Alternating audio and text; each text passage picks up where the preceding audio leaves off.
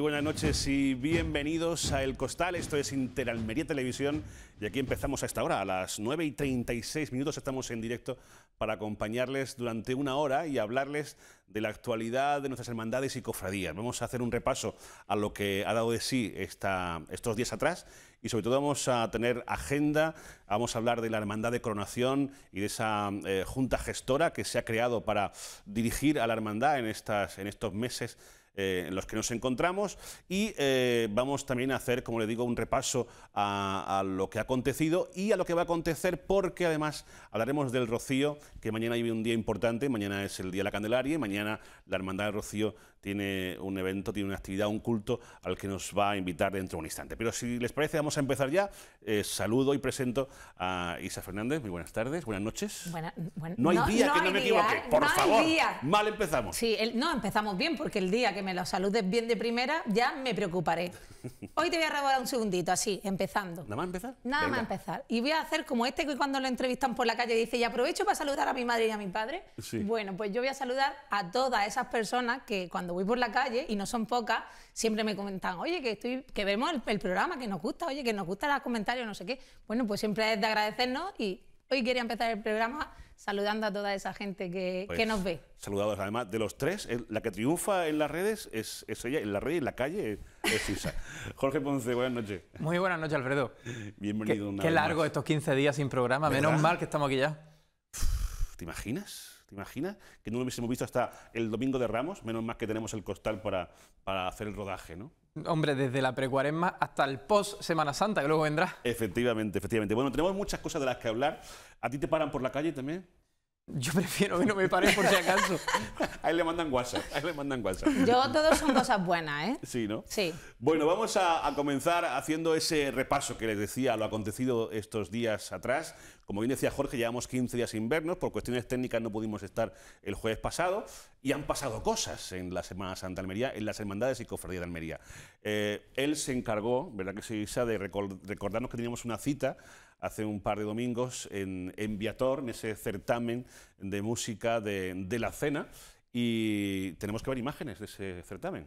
Así es, y yo venía pensando cuando acabó el certamen y iba a mi casa, lo bonita que es Almería, que cuando tú le preguntabas a alguien de la hermandad que, qué tal había ido, te decían, el problema es que ha hecho mucho calor, un 21 de enero. Pero bueno, fue un éxito de gente, se repartieron 600 entradas, hubo alrededor de otros 600 músicos, hubo más de 50 voluntarios de la hermandad, o sea, se juntaron 1.300 personas en Viator. Se recaudaron, que era lo importante, más de 2.000 kilos de alimentos. El dinero que se recaudó en, el Ambigús también fue para Caritas, o sea, fue un éxito rotundo. Estamos viendo imágenes del certamen, cortesía de la Hermandad Santa Cena, que nos ha editado un resumen para que ustedes lo puedan ver y para que nosotros lo podamos comentar. Imágenes de ese pasacalles que también, que también pues, dio ambiente y, creó eh, ese mm, clima cofrade en las calles de Viator eh, ese día. Y, que estamos viendo. Bueno, hay que alabar también ¿no? esa, esa pequeña queja, el buen tiempo que permitió disfrutar de ese pasacalle, que con un día menos apropiado quizá hubiera no hubiera invitado tanto y sobre todo esto que comentaba Jorge, había un ambigú con calorcito, apetece cerveza y si esto fue para Caritas, pues benditas cervezas que se vendieron ese día, ¿no? Sí, y luego ya en el aspecto más puramente del certamen, hay que destacar el nivel que presentaron las siete bandas, porque algunas las esperaba, pero otras sorprendieron. Un nivel, ahora que estamos todavía a tres meses o dos meses de Semana Santa, un nivel altísimo de, todo, de todas las agrupaciones buen escaparate este para las bandas porque siempre hay, hay bandas que necesitan tener un sitio donde hacerse ver y hacerse conocer. Desde luego muchas de las que vinieron aquí eran de sobremanera conocidas, pero otras seguro que le vino muy bien y aunque estemos ya tan cerca y a la vez tan lejos para las bandas, es verdad que ahora empieza todo un tour de certámenes hasta que llegue Semana Santa imparable, así que creo que también las pillamos en muy en muy buen momento. No creo yo que los cofrades nos quejemos de, que haya certámenes en abundancia, ¿no? Siempre son pocos.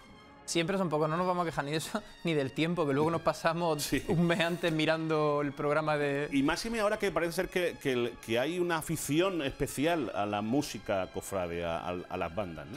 Hay una afición muy grande a la banda y se traduce en una de las manifestaciones que tiene en el gran número de componentes que tienen el gran número de bandas que hay, que encontramos solo en la provincia, encontramos a lo mejor una decena de bandas y cada una de ellas con un número importante de componentes. De hecho, es una de las características que parece que viene en la carta de presentación de las cartas, ¿no? Ya de las bandas.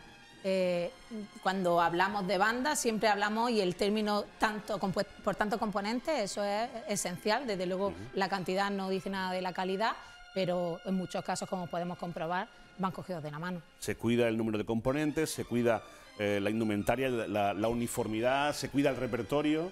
Eh, nada comparable a lo que teníamos en Almería hace no muchos años. Bueno, por fortuna todo va evolucionando, evolucionando favorablemente.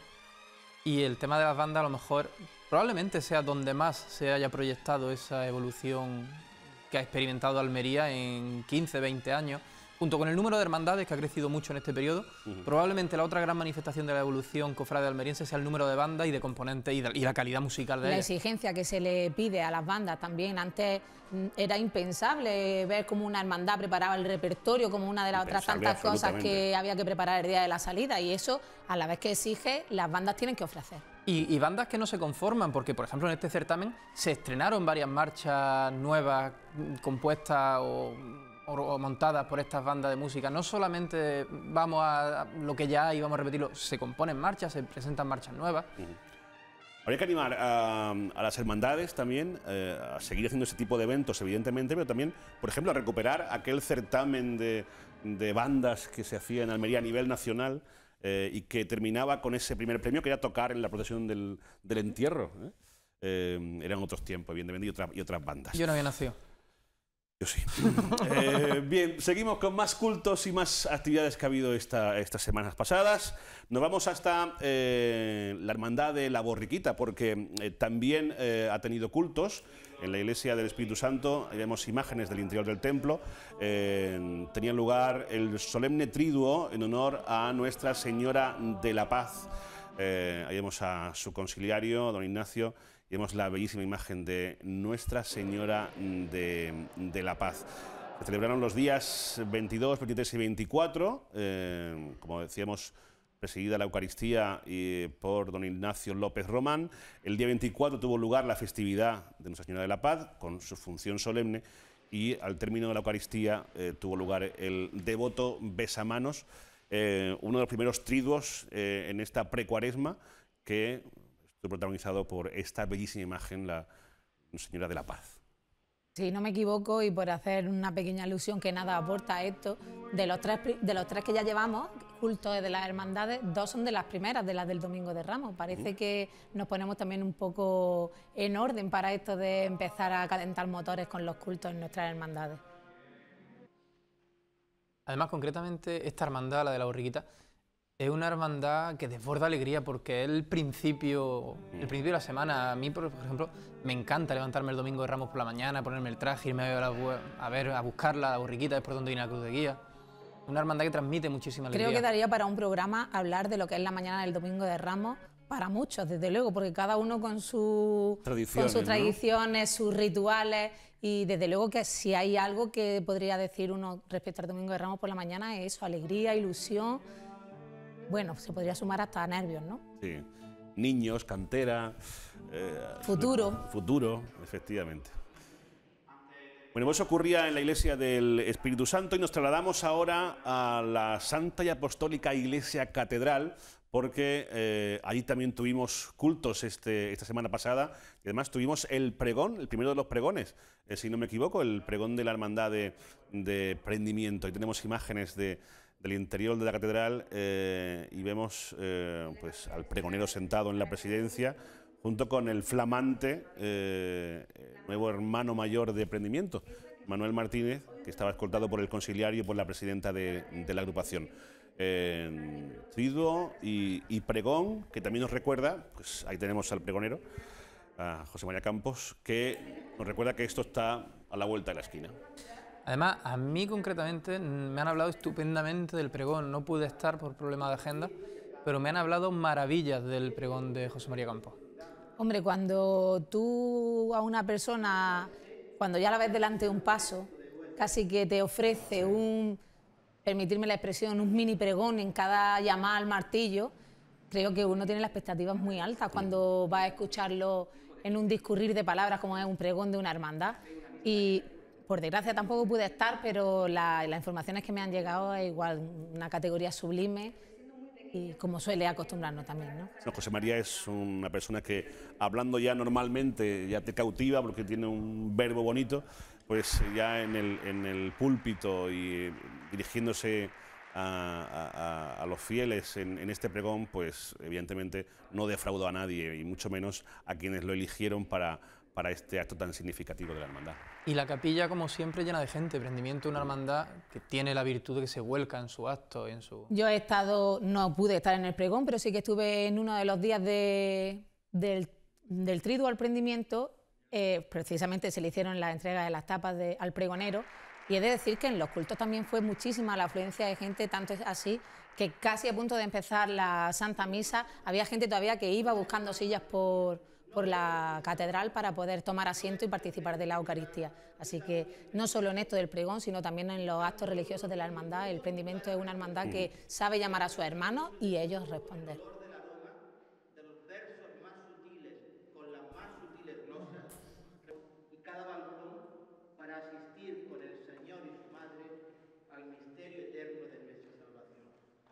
José Campos, pronunciando el pregón de la Hermandad de Prendimiento en la capilla de la Catedral y nos trasladamos de nuevo del lugar, no muy lejos de donde eh, se produjo este pregón, en la Plaza Vieja de Almería, en el Centro de Interpretación Patrimonial, eh, un edificio eh, bonito para visitar y para conocer la historia de, y el patrimonio de, Almería.